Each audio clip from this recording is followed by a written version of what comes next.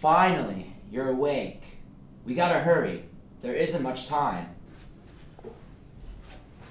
S- Sebastian? Is that really you? Yes, it is. But you have to listen to me.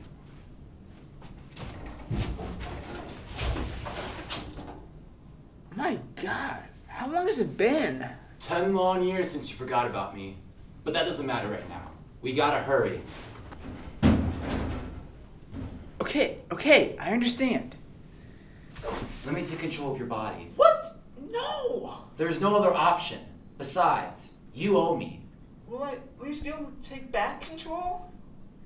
Yeah, sure. I don't like the sound of that! We gotta hurry. Let's do this. Okay, okay.